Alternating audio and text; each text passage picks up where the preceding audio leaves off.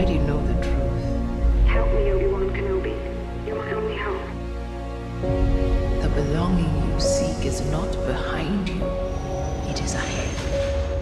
I found a way to save you. Save me?